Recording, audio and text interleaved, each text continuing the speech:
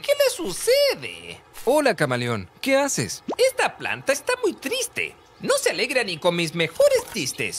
Mírala. Es que esa planta, claramente, necesita agua. ¿Como yo?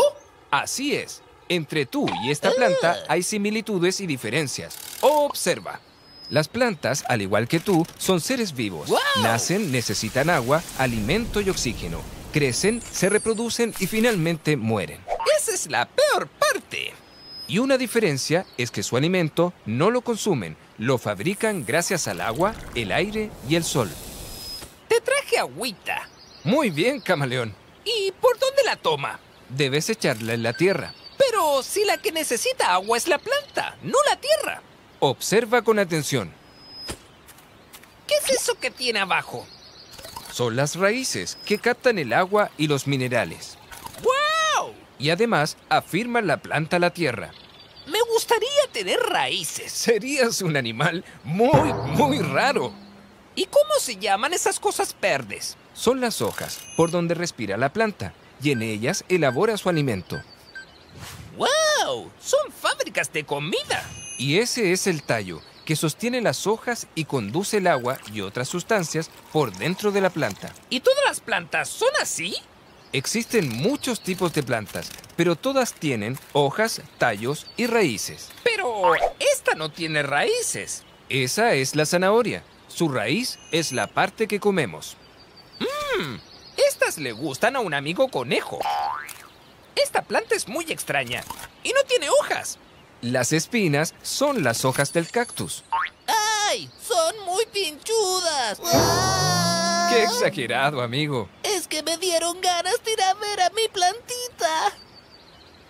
¡Mira! ¡Ya no está triste! Absorbió el agua que le diste. Esta subió por el tallo y llegó a toda la planta. Me gustó esto de las plantitas. ¿Y podrías recordar sus partes? Si lo hago bien, ¿me regalas otra? Trato hecho. ¡Chanan! Ahí está. ¿Estás seguro que está bien armada? Este que... mm, es una planta muy especial. Podrías hacerlo mirando tu planta. Buena idea. Raíces acá, tallo al medio y las hojas. ¿No te parece una hermosa planta? Es una super planta. ¿Me la he ganado? Exacto.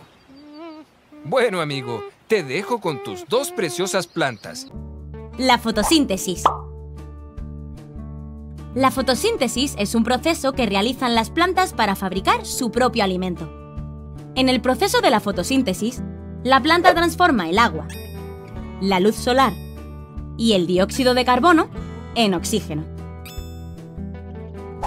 Las plantas absorben el agua y las sales minerales de la tierra por las raíces. Esta mezcla se llama savia bruta.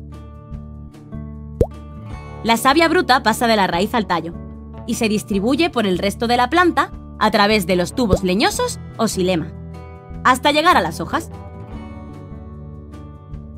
Las hojas captan el dióxido de carbono a través de los estomas.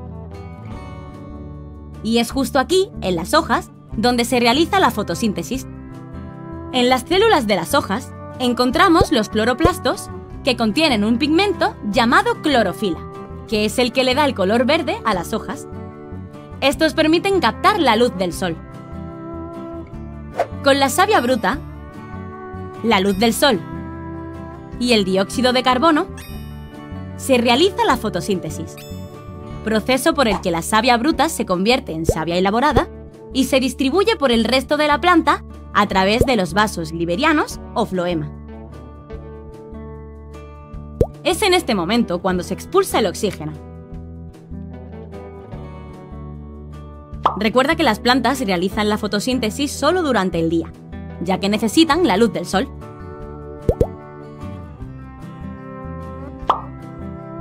No confundas la fotosíntesis con el proceso de respiración de la planta. Las plantas respiran durante todo el día, toman oxígeno y expulsan dióxido de carbono. Las plantas son fundamentales para la vida en el planeta Tierra. Gracias a ellas, el aire se limpia y podemos respirar aire puro. Así que ya sabes, nunca olvides cuidarlas y respetarlas. Cuando el sol resplandece, no hay nada mejor que la sombra de un árbol. ¿Qué necesita una planta para llegar a ser así? ¿Tan grande y tan bonita? Bueno, ahora vamos a aprender.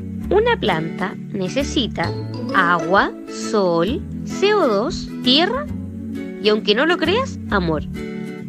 Las plantas necesitan agua y tierra para que formen sus raíces y puedan adquirir los nutrientes.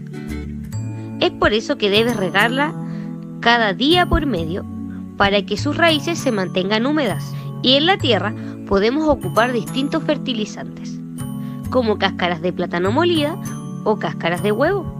La planta también necesita sol y CO2.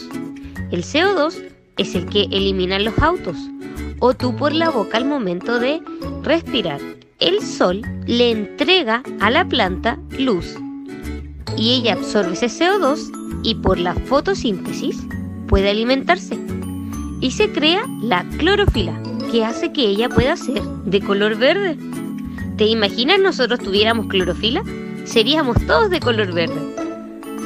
Y por último, la planta necesita amor, hay que tener un cuidado. Tienes que regarla, preocuparte de los depredadores. ¿Sabes quiénes son los depredadores? Todas las plantas tienen depredadores. Y entre ellos está el caracol, los gorriones y las babosas. El caracol y las babosas crean su casa entre medio de las plantas. Y al final terminan así, comiéndoselas. Es por eso que puedes dejar que se alimenten. Pero si no los controlan, se las van a comer todas y solo te dejarán la raíz.